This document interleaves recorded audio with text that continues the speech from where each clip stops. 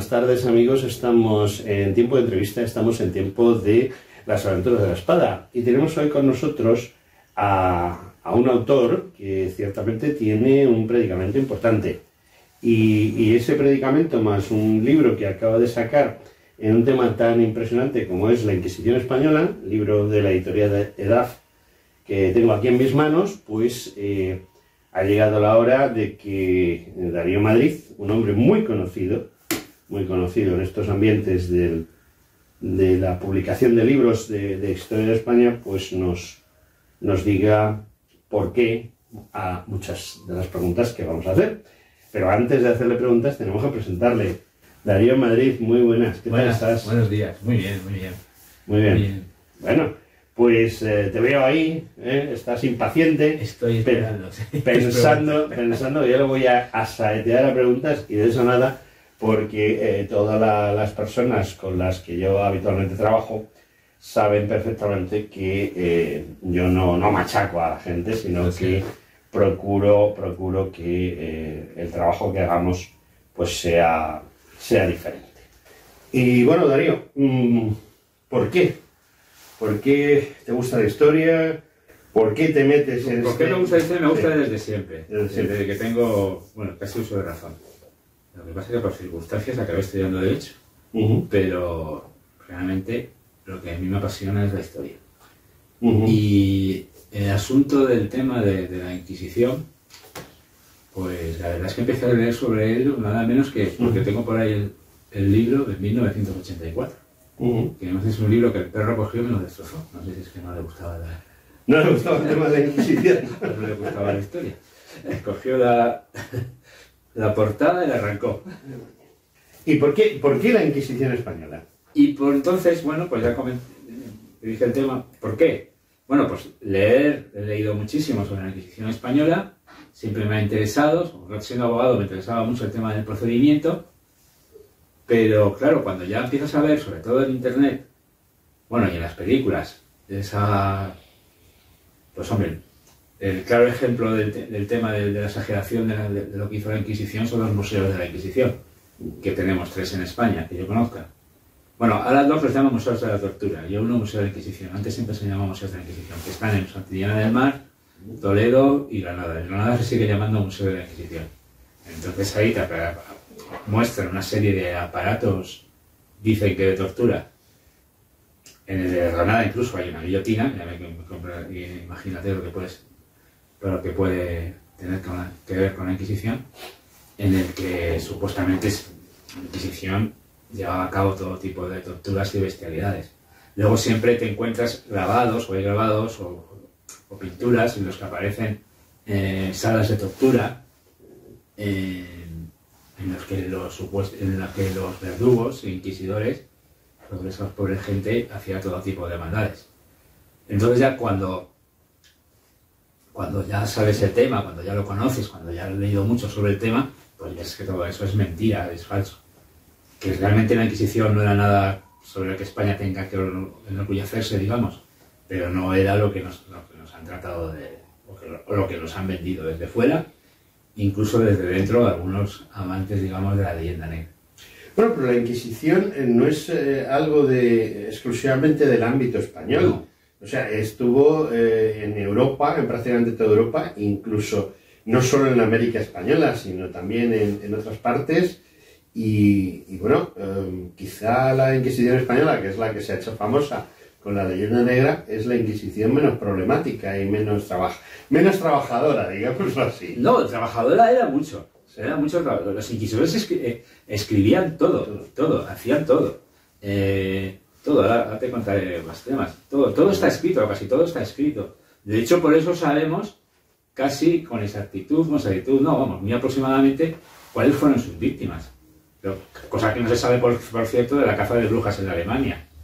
Ahí pues, se piensa que es, en torno a las 25.000 personas, pero no sabemos exactamente cuánto fue, ni, ni, ni, cuántas personas eh, fueron asesinadas en la matanza de San Bartolomé por los franceses.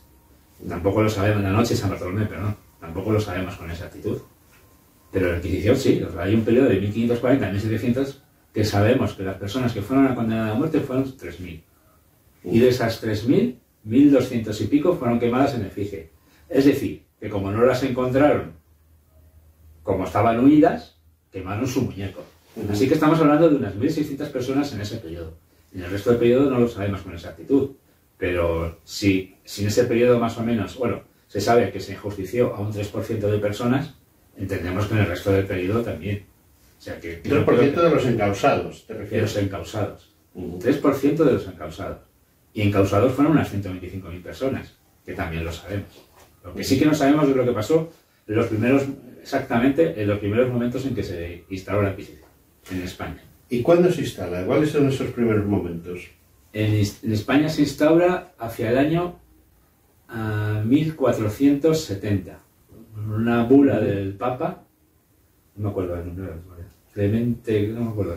Bueno, bueno del Papa, del, Papa del momento, del Papa del momento, para acabar con la herejía que provenía de los, de los conversos al cristianismo procedentes del judaísmo, ¿no? Procedentes del judaísmo. Entonces, piensan que en aquella época, hay que empezar también a decir, si no nos entiende, para ellos la herejía era el peor de los delitos. Pero no para un español, sino para un francés, para un inglés, para un alemán, para cualquier cristiano. Era el peor de los delitos. Estaba considerada la herejía como un delito de lesa majestad. Es decir, matar al rey, para ellos, era, el mismo crimen que cometer una herejía, una herejía grave. Y para ellos, que para esto en nuestra cabeza no entra desde luego, no va a entrar nunca, en el siglo XXI, eh, para ellos merecían la, pena de muerte. Además, la pena de muerte en la hoguera, o sea que es. Porque había que separarlos completamente de, de digamos, del rebaño para que no perjudicaran a los demás. Eh, y, entonces, ese fue el tema. Entonces, eh, digamos que, que la Inquisición lo que hizo al regular los procedimientos, al regular los juicios, eh, al final, digamos, no eran las masas que cogía la gente y las llevaba a la hoguera como se ve muchas los linchamientos. Los linchamientos, no eran linchamientos, había un juicio. Y luego además daba, a, digamos, al reo una, una oportunidad de arrepentirse. Si se arrepentía, se cumplía esa, digamos, penitencia o condena y ya está. ¿Y quién acababa? ¿Quién era ejecutado? Aquel, digamos, el hereje relapso. aquella, aquel, aquel reo, aquel procesado, aquel sospechoso de herejía que no se arrepentía. Bueno, yo no quiero destripar tu libro. Porque no, bueno, sí, hay mucho, hay mucho. el libro es muy, importante, pero sí me gusta, eh, yo desconozco mucho sobre la Inquisición, no es mi tema, digámoslo así. Tú sabes que yo, yo también he estudiado historia, he publicado libros, pero no precisamente de esta época, con lo cual esta época para mí es total y absolutamente desconocida. Eh, últimamente he, visto varias cosas interesantes, sobre todo por culpa de, del gobierno actual. Es decir, a mí me llamó poderosamente la atención eh, las composiciones gubernamentales del señor Pedro Sánchez y entonces me propuse averiguar la procedencia de algunos de, sus ministros, a ver de dónde habían salido. ¿no? Pero yo buscaba eh, pues, lo típico, los que han salido del franquismo, que son la mayoría, es decir, sus, sus padres o sus abuelos han sido franquistas reconocidos, pero no esperaba encontrarme con un tipo como Álvarez. Y es curioso porque estoy, yo estoy haciendo un trabajo sobre la raya de Portugal, es decir, las fortificaciones eh, que Portugal tiene contra España, y entonces me encuentro en, en Elvas, curiosamente, una mezquita, o, perdón, una sinagoga, me encuentro en una sinagoga financiada por la familia Álvarez. Entonces, bueno, pues eh, una cosa lleva a la otra y me encuentro con que eh, los Álvarez en realidad son Álvarez y son judíos conversos que huyen a Portugal porque en Portugal, pues, bueno, no, no hay, en ese momento no hay inquisición. O sea, estamos hablando del final del siglo XV. Entonces creo que es, es importante, esto que yo he comentado no es muy importante, salvo en el sentido de que precisamente eh, lo que tú comentas es que a partir de 1470, más o menos, es cuando la Inquisición empieza a funcionar y cuando, digamos, obtiene un puesto predominante es quizá en el momento en que la, la reina Isabel decreta la expulsión de los judíos. Quizás es uno de los grandes momentos... No, es anterior. Es anterior a eso. Anterior. Es que de verdad rabia no saber exactamente la fecha. Bueno, no te, aproximadamente, hablamos de año, el año más o menos... el 1480. A ver, la expulsión de los judíos es 1492. Sí, efectivamente. Eh, no se expulsa... A ver, desde, desde el año digamos, 1350, que había habido una serie de persecuciones a judíos muy importantes en Castilla, en Aragón, en toda España, en Barcelona, los, los judíos se venían convirtiendo al cristianismo. Poquito a poco, se veían que la mayoría decían, bueno, pues la verdad es que me conviene más ser, ser cristiano que judío, porque... No, pero eran conversiones de conveniencia. Exactamente, eran la gran mayoría conversiones de, de conveniencia. Y realmente la expulsión de los judíos no se expulsa, digamos, a judíos por su raza, se expulsa a personas que profesaban la raza judía y que no se habían convertido. Y que en, aquel momento consideran, después de haber establecido la Inquisición, que no hay forma, que no se acaba, que no se acaba con, la herejía, o sea, con la herejía que están llevando a cabo los judíos que sí se han convertido. Sobre todo la falsa conversión. Exactamente. Entonces quieren acabar con la falsa conversión. Y consideran que la presencia de los judíos conversos, que se han pasado al cristianismo, y de los judíos que siguen practicando su religión es perjudicial para los primeros y que si están, si siguen en compañía unos y otros sobre la cercanía, los, los conversos nunca, jamás van, van a, por más que, por más que les procesen, por más que, que hagan lo que sea, da igual, se van a seguir. Entonces por eso, por eso se lleva a cabo la expulsión. Expulsión, que no es únicamente un tema español, un tema castellano, o un tema aragonés. No, no, es que estaba, es la última, la, última expulsión que se produce en Europa. La última. Entonces, eh, y de hecho, y de hecho, eh, los reyes católicos son, son eh, agradecidos por el, y felicitados, felicitados por, por, el Papa, por el rey inglés en su momento. Se, tocan las campanas en varias capitales de, de Europa, porque de hecho, a los españoles se les empezaba a llamar marranos, que, es una, que, es, que es un nombre de, que viene de vamos, que viene, originario de, los judíos. Y o sea, que no, que, no veamos que hay, ¿cómo decirlo? Que, que, ya, que, no, que no se persigue a los judíos realmente.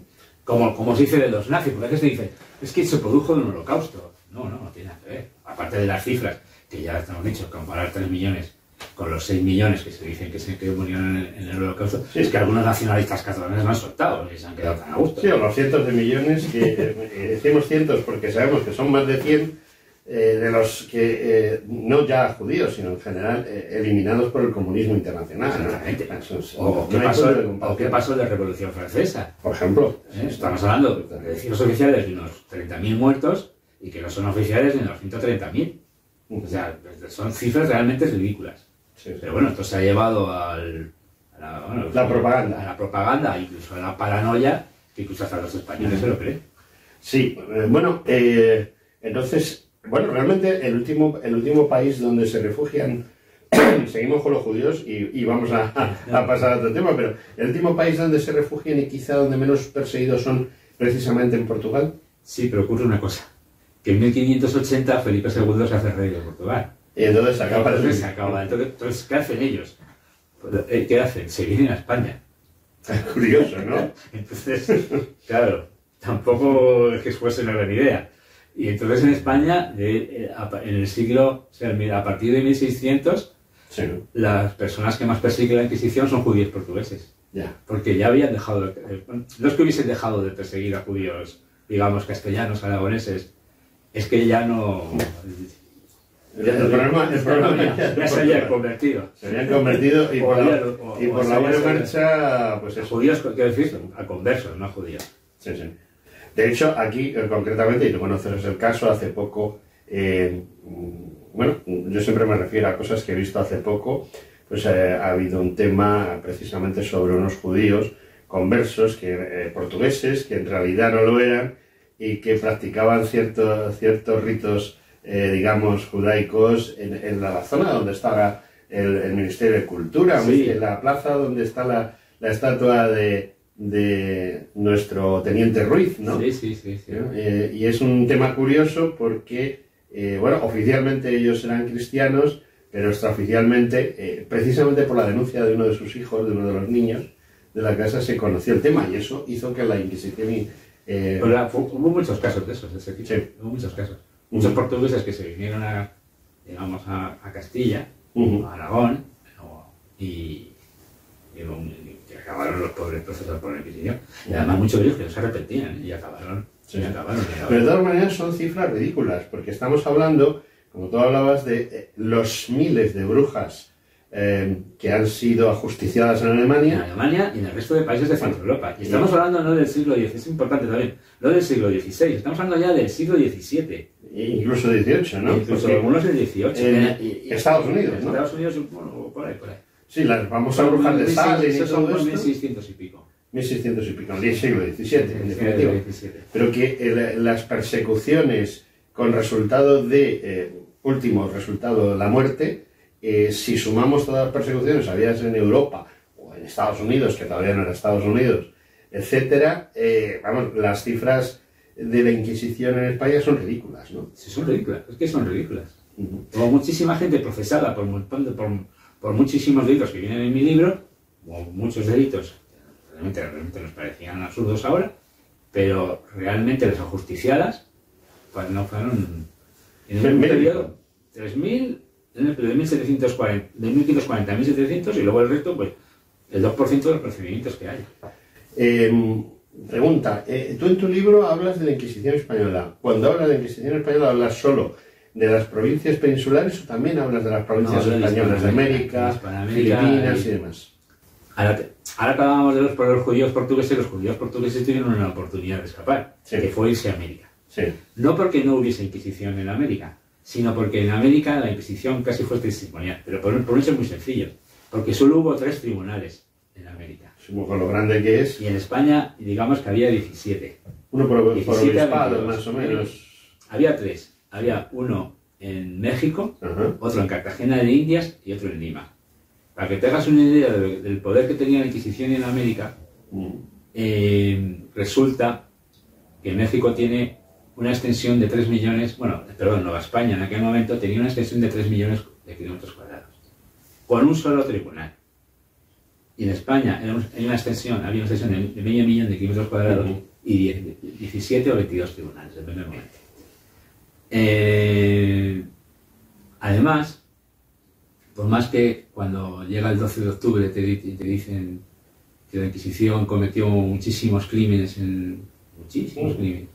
Cuando comparan, siempre se comparan en aquellas fechas los, los sacrificios de los mexicas y la Inquisición, digamos, bueno, pues Hernán Cortés fue y acabó con los sacrificios, etcétera, etcétera. Siempre te sueltan aquello de que la Inquisición que, que llegó a Medellín, asesinó y mató a millones de, de indios. Bueno, es que ni siquiera la Inquisición tenía jurisdicción sobre los indios. Enseguida se dieron cuenta, gracias a Dios, de que los indios eran neófitos en el catolicismo y, ense- y solamente ajusticiaron a, está claro, a uno en México y ya los, ya los dejaron y ya los dejaron tranquilos. Sí, porque eh, realmente eh, el, el judío tiene una religión parecida a la cristiana, o, o origen precisamente de la cristiana, y sabe lo que está haciendo, porque normalmente el, el judío suele ser, hoy en día no, pero en esas épocas eh, la gente tenía unos conceptos religiosos muy claros. Sí. Eh, conocía muy bien la historia de su religión y No, que a- aparte de que de- de su religión era de su rey, normalmente. Sí. O sea, no, no, no, no había discusión. Tú tenías que tener, si el rey de Inglaterra era, era anglicano, Sí, pues, no había separación iglesia-estado, Estado no había separación. No había tolerancia ni religiosa ni política ni política. en aquel momento.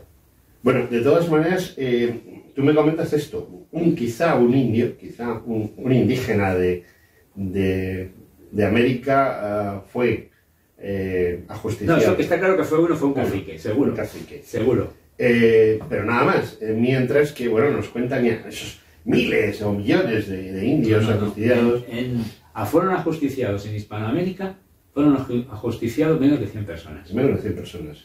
eh, a lo largo de tres siglos. A lo largo de tres Claro, siglos, pues desde, desde 1500 hasta Ten en 1800. cuenta que en Ginebra. Calvino, Sí. en una población de 3.000 personas, eh, ejecutó 500.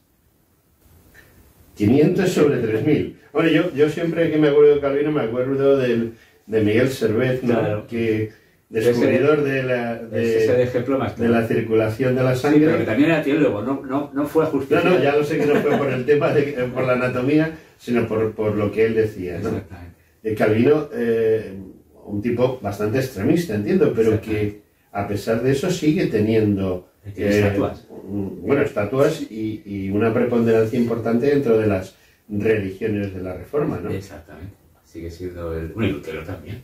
Sí, pero vamos, que Calvino... Pero Calvino- pero bueno, Lutero no se dedicaba a, No, no, pero a Calvino. quemar gente en la plaza Calvino- pública, ¿no? Pero, Calvino, pero, pero Lutero era antijudío. ¿Sí? Sí, sí, sí. Ah, yo pensaba que eso era anticatólico. No, no, no, no. Antes tiene un libro que es eh, contra los judíos que es tremendo. Sí. Es tremendo. Ah, pero eso no se sabe, no se No, comenta. no, no se se también está en el libro. Lo comentas tú aquí. También o sea, está en el libro. eh, le decimos a, a las personas que, que quieren leer el libro que sepan que aquí hay cosas muy interesantes sobre la reforma. ¿no? Exactamente, que, que no, que no eran tolerantes, que no, que no existía la tolerancia. Sí. Que el único rey, digamos, intolerante Ujú. que había en Europa no era Felipe II, Ujú, digamos. Que, que, que Enrique VIII. sí. En, en Inglaterra además pasa una cosa curiosísima. Enrique VIII, cuando empieza, con- o sea, cuando se publica el acta de supremacía, que, por la que se implanta la religión anglicana, en la que él es el, el jefe supremo de su iglesia, eh, comienza a perseguir a los católicos.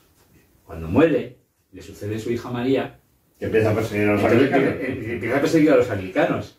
Y cuando muere y llega Isabel, empiezan de nuevo a perseguir a los católicos. O sea que no es una cuestión de...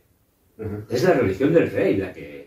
El, el- el Francia, que tiene ese follón, con los hugonotes, el, el- creo que es Enrique algo, el, rey de- de- decide atacar- matar a los hugonotes hasta que llegan... Y hay siete o ocho reglas de religión. Sí, de todas maneras, la postura religiosa, ya que estamos hablando de Inquisición, hablamos de religión, la postura religiosa de los reyes franceses en algunos momentos no está nada clara, porque se, se alían con los turcos, Van ejemplo, cambiando de cual no bando. tiene, no tiene mucho Van sentido. cambiando de bando, van cambiando de bando según les... Y salía con los protestantes, según, Ujú. según para, para mantenerse en el trono. Pero bueno, ya este ya es un tema que Es un tema más po- político más político que- que, les, conviene... que la Inquisición. Bien, Pero volvamos bueno, hemos dicho que la Inquisición nace en Francia, para acabar con la Ah, yo, eh, no, eso- yo pensaba que había nacido en, en la propia Roma, No, ¿no? Nace en Francia en el 1130. Nació en Francia para acabar con una herejía, con la herejía cátara. Ah, con los cátaros. Con los Que cátaros. fue otro grave problema que tuvieron los franceses, ¿no? Los cátaros estaban en, eh, digamos, la Cataluña francesa. no es un invento español, para nada. Para nada, ¿no? Sin embargo, los franceses nos echan a nosotros el muerto, digámoslo así. Todos nos echan el muerto, no Sí. solamente los franceses. Eh, quizá el problema esté en que eh, es la envidia que existe por- sobre todo por los, los diversos imperios eh, extractores y destructivos que, que hay en Francia, Alemania, Inglaterra, etcétera, eh, que eh, están en contra del único imperio constructivo, imperio a la semejanza del romano, eh, que es el, el español, ¿no? Bueno, es la propaganda del momento. tienen- ahí tienen dos armas contra España, hablando en términos de propaganda, lo que es la conquista de América y la. Inquisición. Realmente hay un tema muy importante y es que parece mentira que la pequeña población de la península ibérica, porque eh, en términos de, de número de habitantes, eh, Castilla y Aragón eh, eran eh, los reinos menos poblados de toda Europa, ¿no? En proporción, además, incluso a los kilómetros, a los kilómetros cuadrados que tenían y a la proporción general de, de gente. Castilla podría tener cuatro, entre 4 y 5 millones, Aragón un millón y pico, y sin embargo, eh, esos 6 millones, redondeando, y es mucho redondear, bueno, 6 millones eh, se hacen con eh, más del 25% de la superficie terrestre y, y casi la mitad del mar, porque por ejemplo el Océano Pacífico era totalmente español. Eh, esa eh, envidia, digámoslo así, es la que más influye en que durante el reinado, sobre todo de los Habsburgo, haya ese, ese ataque eh, a, a esa Inquisición que ellos también tenían. O no, no se llamaría Inquisición, pero que ellos también perseguían a, la- a las personas de otras religiones. Sí, sí, sí. O sea, eso es. De hecho, de hecho, eh, cuando hablamos de Holanda, eh, cuando las tropas de, de- del príncipe de Orange eh, va, va conquistando ciudades, las primeras cosas que hace es ir a las iglesias, destruir las imágenes y muchas veces matar a los sacerdotes, en muchas ocasiones. O sea que ejecutarlos y vamos, como, como podía hacer el duque de Alba con, con el otro bando. Sí, sí. Eso tampoco se cuenta. O sea, que tampoco... O sea, se, cuenta, se cuenta la gente que colgó el Duque de Alba en la Plaza Mayor de Bruselas, pero no la que colgaba ahora. Exactamente. O sea, que había también verdaderas matanzas cuando, cuando las tropas del, principio de Orleans conseguía, conseguía triunfar en, en- en las plazas que conquistaba. Ujú. Eh, y mataban, por supuesto, sacerdotes católicos, que eso también lo hicieron los ingleses, por supuesto. Eh, y sí, se trata simplemente. Es la leyenda negra, la leyenda negra de la que siempre estamos hablando, de la que, de la- que hablamos siempre, de la que siempre se ha hablado. Que la se niega, Sí. pero en realidad el principio de, Orange, en sus, gracias a la imprenta y a los grabados que publicó, y, a- y gracias a, español- a protestantes españoles que acabaron allí, eh, pues, pues, pues, bueno, y, a- y a- y al traidor este famoso, Antonio Pérez, Pérez, el que acabó en Inglaterra. que acabó en Inglaterra, pues, pues propagaron una serie de mentiras sobre lo que estaba haciendo la Inquisición, que incluso han llegado hasta nuestros días. Y sobre todo grabados truculentos de gente colgada, de, de- ese tipo de cosas que siempre que, que triunfaron en la- que triunfaron para expandir la leyenda negra sobre la conquista de Europa, de, de- de España, perdón, en, en América, y para lo que pasó aquí en España con respecto a la Inquisición. También hay, no, perdón, No, no, no, no, no, que me lanzo y No, te lanzas, no pasa nada. Vamos a cortar si quieres un Sí. poquito y seguimos con una segunda parte. Eh, voy a empezar, vamos a empezar hablando mm, de, de esos museos de la Inquisición, si te parece. Vale.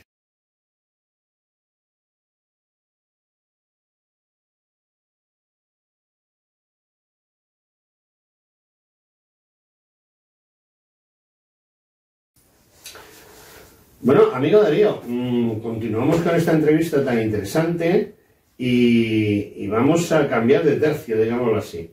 Has hablado al principio de la entrevista de eh, museos de la Inquisición y, y parece ser que hay tres, no exactamente museos de la Inquisición, pero que podríamos medio considerarlos museos A ver, hay uno que lo, que lo llaman así, Museo de la Inquisición, que es el Museo de Granada. de El Granada. Museo de Granada pone Museo de la Inquisición, la portada. Bueno, realmente hay tres museos. Dos de ellos no llevan el nombre de Museo de la Inquisición, llaman Museo de la Tortura. Y el que único que ahora mismo lleva el nombre de Museo de la Inquisición es el Museo de Granada, que está en la calle del, cerca del, del Darro, eh, por la parte más bonita de Granada. Para mí, la parte más bonita de Granada. Y entonces, en el Palacio de los Olvidados. Y entonces, en ese palacio han montado una exposición de, mu- de- de instrumentos de- que dicen ser de tortura, que ninguno fue aplicado por la- de los que muestran ahí, ninguno fue utilizado por la Inquisición, y encima la mayoría son falsos. Son invenciones del siglo XIX que se utilizaban para, para, para mostrar en ferias y cobrar una entrada al pobre incrédulo que se lo creyese. Bueno, pues eh, mm, ese es el Museo de la Inquisición. Entonces, tenemos un museo en Bueno, Toledo. y en Toledo, claro, les engañan y les dicen que, de la Inquisición, porque si no, no los llevarían. Lo que pasa es que les han cambiado. No sé si le han cambiado o no, pero se llama el Museo de la Tortura. El de la. Inquisición, te lo, de Toledo, te lo publicitan con una, con una fotografía de lo que llamaban la Dama de Hierro, que es un sarcófago donde supuestamente se introducía el reo para torturarlo, pero claro, que no lo torturaban, lo acababan matando. Si tú metes a una persona de un sarcófago lleno de pinchos y apretas, Sí, normalmente lo llenas de pinchazos y agujeritos y se que desangra. no son siempre pinchazos como los... No, no, son dagas, ¿no? Son dagas que se introducen en el cuerpo, Ujú. aunque ellos dicen que lo hacían de forma que, el- que la persona que estaba dentro no moría. O sea, ve, pues tú- tú- mirad miren ustedes la foto, ya verán que está lleno completamente. Bueno, realmente el Museo de la Inquisición el problema que tiene son las escaleras. Tiene muchas escaleras, pues es una serie de sótanos cada vez más bajos y cuando tienes que volver a salir te hinchas a subir escaleras. ¿no? Sí, sí, Eso sí que es una tortura. Eso es una tortura. Pero claro, eso, eso es, o sea, es que, primero, por, por un motivo clarísimo. A ver, la Inquisición, los métodos de, de la Inquisición estaban completamente casados. La forma, la forma de hacerla, cómo se tenía que hacer, todo. eh, solo utilizaba tres métodos, que, era, que eran el cordero potro, la garrucha y, y la tortura del agua o del, del ahogamiento. El, la llamada potro no es que, que se utilizase un potro como salen en las películas y estirasen en los brazos, o sea, atasen los brazos y las piezas y tirasen con unos tornos. No, simplemente se ponía un cordel. Que, que ya, que ya tenía que hacer un dolor tremendo, pero te pones un cordel, te pones un cordel en el brazo y aprietas con todas tus ganas, Sí, sí, eso. eh, Eso duele bastante porque lo que, se pretendía, lo que se pretendía era causar un dolor muy agudo. No matar, por supuesto, a esa persona. La Inquisición tenía prohibido hacer sangre y, te- y hacer mutilaciones en los, bueno, en los miembros en cualquier parte, bueno, mutilaciones en los miembros y heridas en cualquier parte, y sobre todo causar la muerte. Además estaba presente un médico cuando se hacía, cuando se hacía la tortura. A ver, la tortura no es que fuese un invento de la Inquisición, se hacía en todos los procedimientos judiciales de Europa de los siglos XV, XVI, XVII y hasta el XVIII, que empezó a dejarse de utilizar. Pero también en procedimientos civiles En o procedimientos penales. civiles y penales. ¿no? Ujú. Por supuesto, no solamente religiosos. La tortura de los procedimientos civiles en España Ujú, era mucho peor que la Inquisición. ujú. ¿Por qué? Porque se aplicaba desde un primer momento. En la Inquisición estaba regulada de forma que era el último, digamos, la, la última posibilidad para que esa persona confesase. Ujú. La el último instrumento para que esa persona confesase. ¿Qué es lo que buscaba la, la Inquisición? No buscaba ni la acusada que confesase para que se arrepintiese. Y si no se arrepentía, O sea que había una posibilidad de escape. hay una posibilidad, una posibilidad de escape que era el arrepentimiento. Cosa que no, te, cosa que no sucede, por ejemplo, actualmente, eh, tú conoces la ley de violencia de género, donde Bueno, si tú te arrepientes, digámoslo así, y confiesas, y confiesas a petición de una fiscal, Si tú confiesas, a petición de una fiscal para que te pongan poca pena, te van a poner poca pena. Es decir, que, que no, no te puedes escapar. no, a ver, lo que pasa actualmente es que la confesión durante la instrucción y durante el juicio Mm, puede suspender un atenuante, pero nunca un eximente. sí. Eh, Sí, pero al- a la persona que han tenido, que han detenido un viernes y pero el- eso es un tema ya de un, y de un el- protocolo de la policía. O sea, Sí. no, no está establecido en ningún sitio. no está establecido, pero está acordado los hay un protocolo. La policía primero te detiene y luego pregunta. Pero eso no es legal.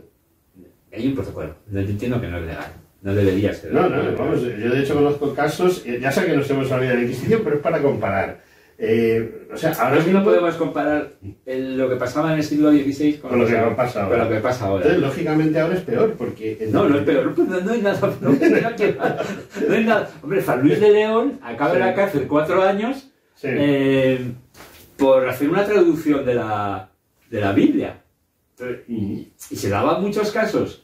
Pero es que lo que yo no quiero que saca una idea es de que decir lo que la Inquisición era una maravilla. No, no, no. No, Por Dios, no. No hay una Inquisición rosa. No, no hay una Inquisición rosa, no la hay. No la hay. O sea, los inquisidores, no digamos que no fuesen unos, no, eran unos monstruos, era para aquella época, eran unas personas de leyes que, que aplicaban la ley que había, en- que había en ese momento.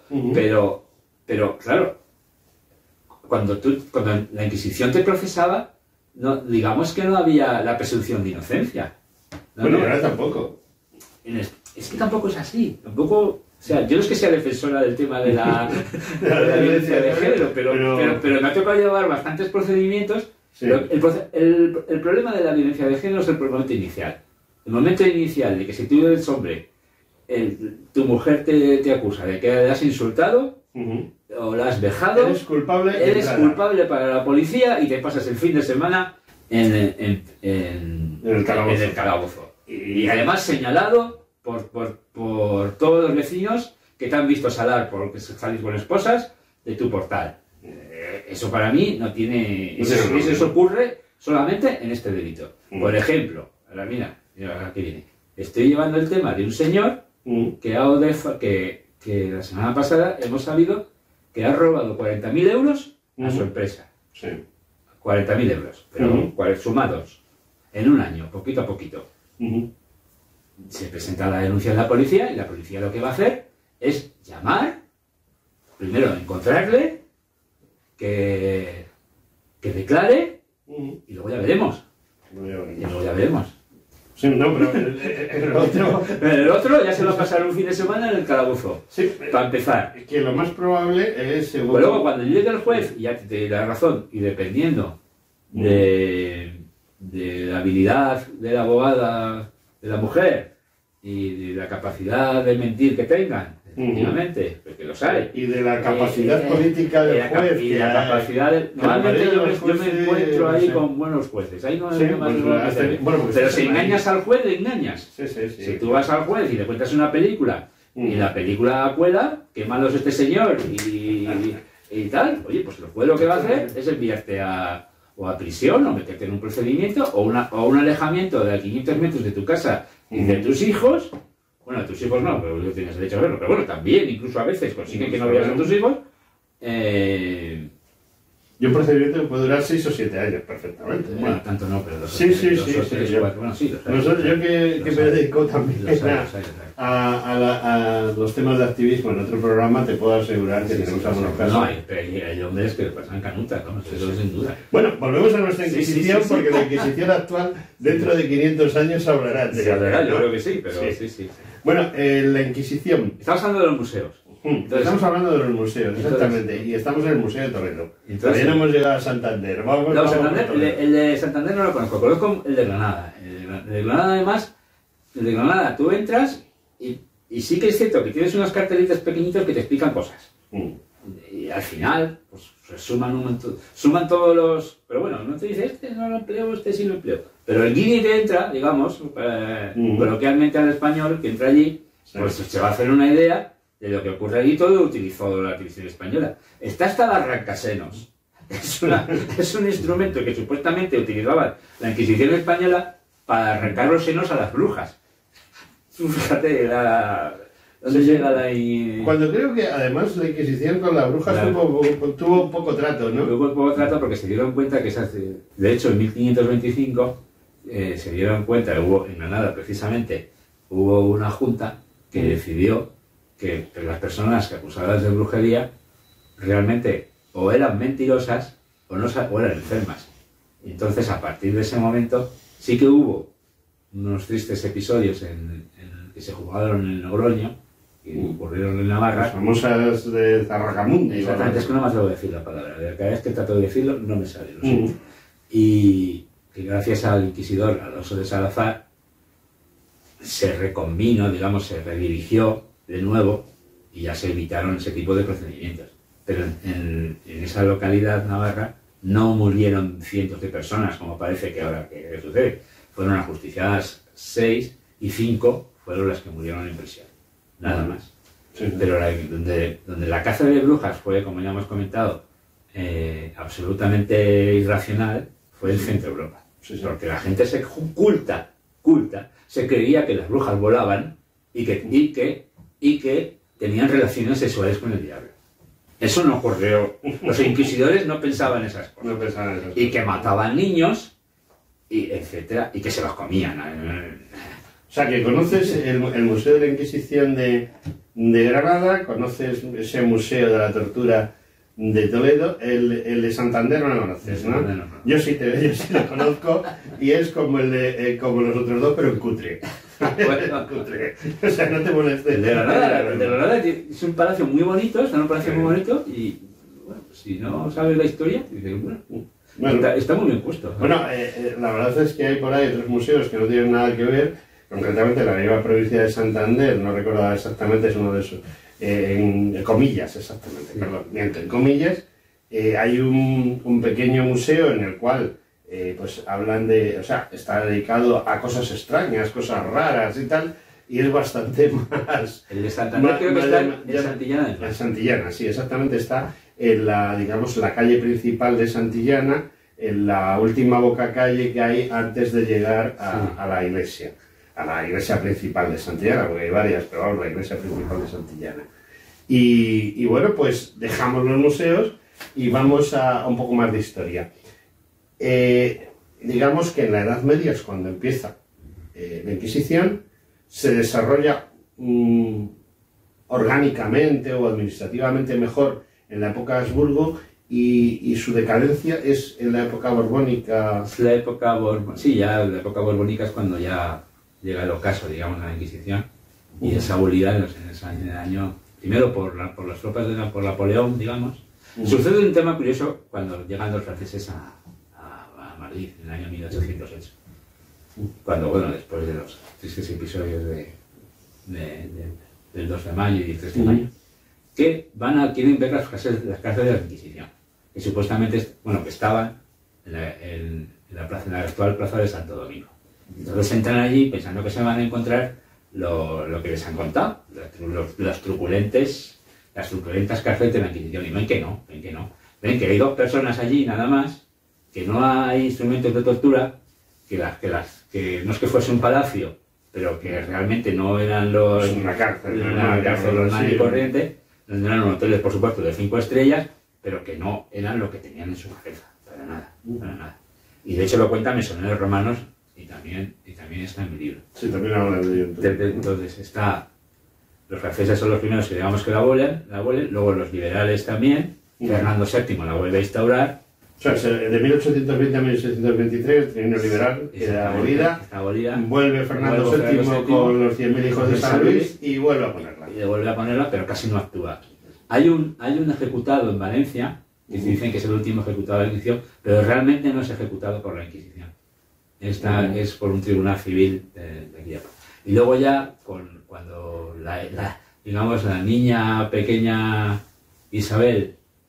Con la regencia de su madre, es accede al trono, es cuando ya realmente se... Sí, son los espadones liberales. Sí. Curiosamente los golpistas del 19 eran liberales, ¿no? Exactamente. Liberales y Sí, masones, ¿sabes? Liberales y masones, efectivamente. Ujú. Y tienen sus calles, ahora que hablamos de eso, mejor no hablar de eso, pero tienen sus calles y nadie protesta. Nadie protesta. Pero las barbaridades que hicieron. ¿Qué te iba a decir? Que eh, lo más importante, eh, precisamente, estábamos hablando de Daniel Gómez Aragonés, que es un historiador de, de Y- Toledo Y gran amigo mío. y gran amigo tuyo, que presentó la semana pasada un libro y lo presentó, no era suyo, pero él lo Sí, presentó sí, y, lo, lo vi, lo vi en internet. y- y entonces, pues, eh, hablando de estas cosas y tal, eh, pues se hablaba de, de muchas cosas importantes sobre la Inquisición. Y lo más importante, desde mi punto de vista, es que eh, hablar mal o bien de la Inquisición sin conocerla, pues es una locura, porque precisamente la Inquisición, lo que más ah, Daniel hacía, hacía hincapié eh, era eh, que estaba todo escrito. Sí. Es decir, y entonces decir, bueno, es que ha pasado tal cosa. Un momento, ¿dónde está reflejado? Porque los inquisidores eh, eran, eh, vamos, unos obsesos de escribir. Parecían alemanes de las... Parecían alemanes, ¿no? A lo mejor lo eran los primeros, ¿no? Todos, todos, todos lo escribían, todo, todo, todo, todo. Con lo cual, eh, sacar conclusiones o decir cifras, estadísticas y demás sin haber corroborado es una tontería, porque eh, digamos que está todo escrito. El problema, el problema de las cifras de la Inquisición viene de, de Llorente, del afrancesado este que salió huyendo y escribió un, un libro que se llama Crítica de la Inquisición. ¿no? Pues, entonces ahí sacó una serie de cifras que, él decía que se había llevado los expedientes ujú. y, y eran falsas. Pero a- cuando, cuando la gente le preguntó, cuando, cuando alguien, un investigador, le preguntaba dónde están esos expedientes, eh, los quemé. Sí. es muy buena solución. Los quemé, los perdí. ¿vale? Pero ah, sobre, esas, sobre esa base, esa falsa historia es lo que se ha hecho durante mucho tiempo la historia de la Inquisición. Sobre todo la, la historia de la Inquisición de, los, de, de las personas que ejecutó. Y es completamente falsa, como digamos. Bueno, y esa, esa leyenda negra que, bueno, ese trozo de la leyenda negra que es la Inquisición, eh, ¿estamos consiguiendo levantarla? ¿Estamos consiguiendo aclararla?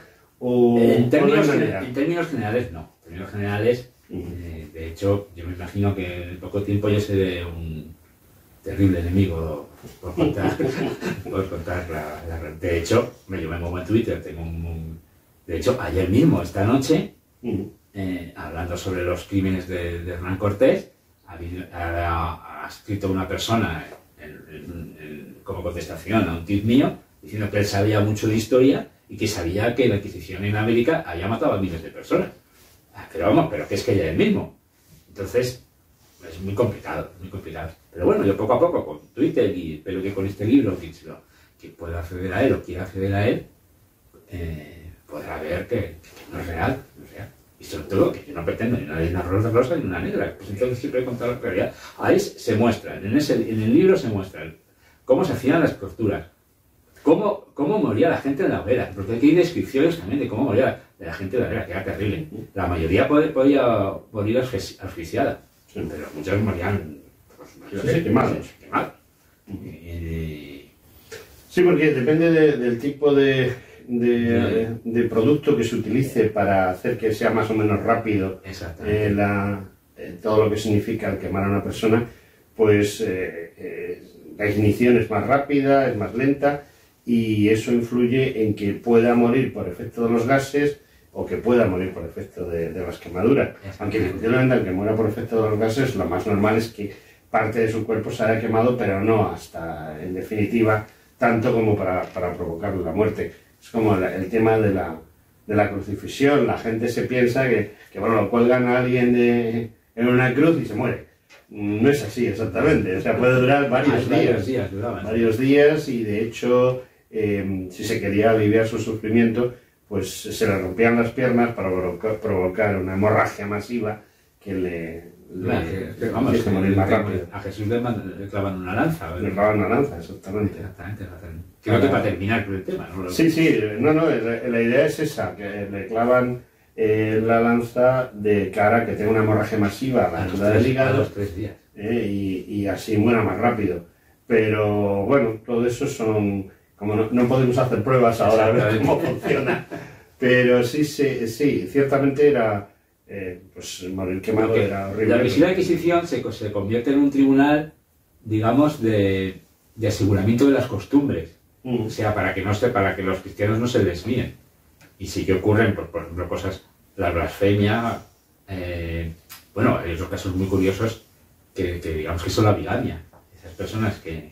La bigamia era un delito para la Es un Inquisición. delito para la Ah, yo Inquisición. pensaba que era un delito civil. No, no, es un delito para la Pues Inquisición. eso hace que el número de casos todavía descienda más, ¿no? El número de casos. Entonces, ahí no se aplicaba la pena de muerte, ahí se aplicaba una serie, otro tipo de condenas que, pero vamos, a ti porque sabes que es que, claro, en, a- aquel tipo los registros no eran como ahora, que digamos que eran, bueno, hasta hace poco no eran telemáticos, pero bueno, en aquel, eh, bueno, era difícil Sí, saber la si un, señor, si un señor se casaba en un pueblo de Aragón, perdido en el monte, y luego decidía casarse con una rica viuda que en, en Granada, digamos, pues era mucho más complicado saber si Sí. ese señor se había casado dos, tres, cuatro, cinco, seis o siete, como Ajá. algunos golfos también lo hacían. Mm. ¿Por qué? Pues para, pues para ganar dinero, o sea, para llevarse Sí, sí, dinero. simplemente por motivos económicos o, o, bueno, o por desviación. La, la verdad es que muchas veces los casos de eh, Don Juan, Sí. o sea, los, los Don Juanes es más bien una enfermedad mental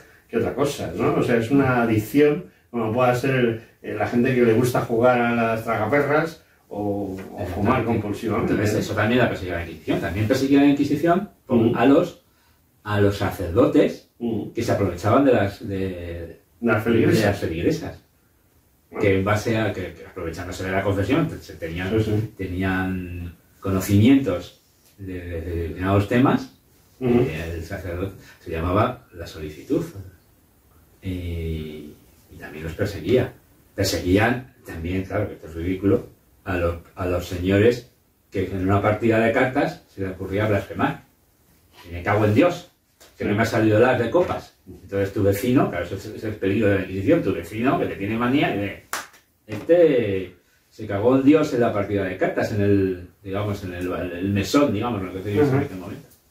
Bueno, pues es muy curioso lo que está ahí. me estás Y contando. además pongo los casos y pongo casos sí. verídicos de, de, casa, de, de todos los delitos. Bueno, tenemos un pequeño problema, Darío, que nos hemos quedado sin tiempo. Me Llevamos, imagino. llevamos una casi una- una casi una- agradable y podríamos estar hasta el Sí. día de... Oh, es muy, muy interesante y, y la verdad, eh, yo mm, no he leído todo el libro, es costumbre mía no Sí, sí, leerlo, sí. Sino ojearlo, ver algún capítulo que me interesa. Eh, sobre todo, primero miro a ver de qué va el libro y luego, pues, eh, aquellos capítulos más interesantes para mí, pues son los que verdaderamente leo en profundidad. Pero bueno, lo, lo que he leído de- del libro de Darío creo que es eh, sumamente interesante y, muy aclaratorio. Como él nos ha aclarado en la propia, en la propia intervención que ha tenido, pues creo que es sumamente importante que le dediquemos tiempo a este libro. Pero claro, para dedicar tiempo a este libro necesitamos comprarlo. Y mi pregunta es, ¿realmente? eh? O sea, mm, te permito que hagas propaganda de tu libro con una última pregunta. Si yo veo este libro en el escaparate de una librería, ¿por qué entro y lo compro? Porque vas a acabar con muchos, porque te va a aclarar muchos mitos que, que actualmente se escuchan sobre la Inquisición y que no son ciertos. Porque la Inquisición no es que fuese, como he comentado, una, una maravilla, pero ni nada bueno, porque- pero, pero no existía, o te vas a hacer una idea de lo que realmente fue. Había un procedimiento, un procedimiento judicial que, que para el tema penal a veces se parece a lo que, a lo que actualmente está en... Si eres abogado, te va a llamar muchísimo la atención. Abogado, juez o, profesional de derecho te va a llamar muchísimo la atención. De que de la instrucción de los procedimientos, en muy pocas cosas también es cierto, pero se parezca a lo que actualmente se, se- se lleva. No sé si se lleva haciendo en España. Y, y bueno, sobre todo por eso, porque te están contando una mentira y imagino que si te gusta la historia, te gusta el derecho, que vas a ver cuál es la verdad. Bueno, no es un libro solo para jueces y abogados, sino para el común de los mortales que les guste la historia.